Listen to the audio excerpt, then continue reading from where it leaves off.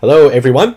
So now we are slowly moving to uh, week number three. I know that you're now busy finishing your lab number one, that's for sure. And then at the same time, we are going to cover some new materials that will help you to move on with lab number three uh, in week number four. So let me just tell you uh, briefly what you're going to learn in the coming week and then the study materials you should really go over and then off you go, you'll do the work. Uh, let me just give you a quick overview about week number three over here. As you can see from my iPad, first of all, I would like to draw your attention as I promised. I'm going to reduce the uh, workload for the coming uh, week three and possibly week four or week five. I'm not too sure yet, but at least for this week, rather than having three hours of lecture, you only need to watch for two hours. So that's one hour reduction from the previous one. I'll do another one hour reduction a little bit later. Uh, for, for this week, only two hours of lecture you have to study. However, these are very important topics. P please do not procrastinate. You want to finish them steadily. And uh, I'm going to talk about individual topics in just a moment. And uh, you can see the normal iPad notes and also lecture slides, the Google Doc for you to post questions. And also there will be one example code for you to actually uh, strengthen your ideas about what you learned in the lecture. Let me just go over very quickly with uh, number one, the learning objectives for, uh, for week number three.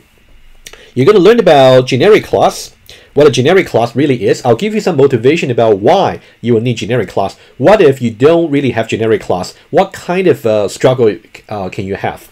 And we're going to talk about a LIFO stack, last in, first out, something you're very familiar with, and then we'll review what, what you learned from the previous week about how you can write complete contracts, especially post condition for, let's say, the push operation.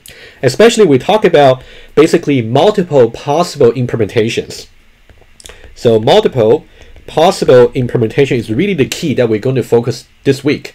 Because when you talk about design, it should be like an open-ended problem, which means there might be multiple solutions that might solve the same problem. So now, if you got multiple problem, uh, multiple solutions, how can you choose between them? And then once you choose, uh, go from one solution to another, can you do it in such a way that it's not going to affect your potential clients? So that's the design problem we are talking about this week. Specifically, we talk about two very important and very fundamental design principles. One is called information hiding.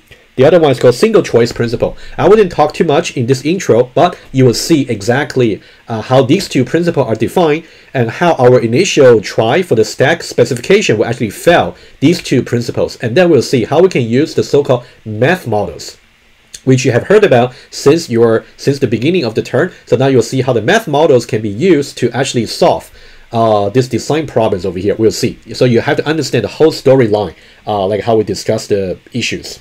Okay, so now for math models, you're going to learn about something called abstraction function.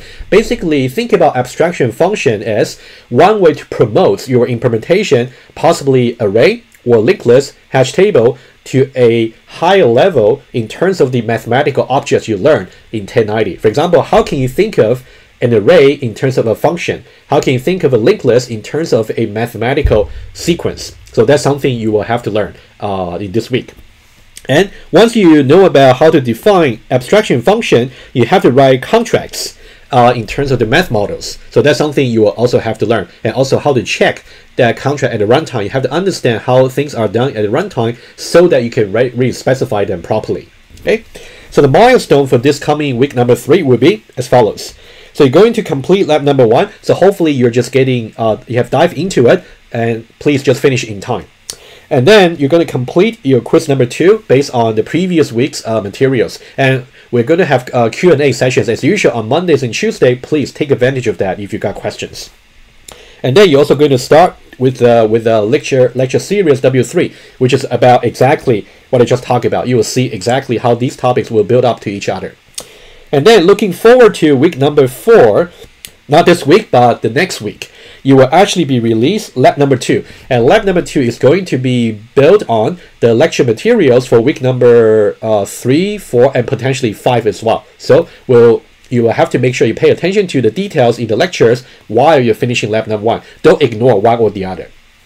Okay, so that's about it. So uh, that's about what you're going to do for this week. It's a lighter lecture load, but it doesn't really mean the importance of the topics are less. No, not the case. Okay, so please uh, digest the materials properly and speak to me earlier uh, if you got any issues about understanding. Okay, off you go and happy studying.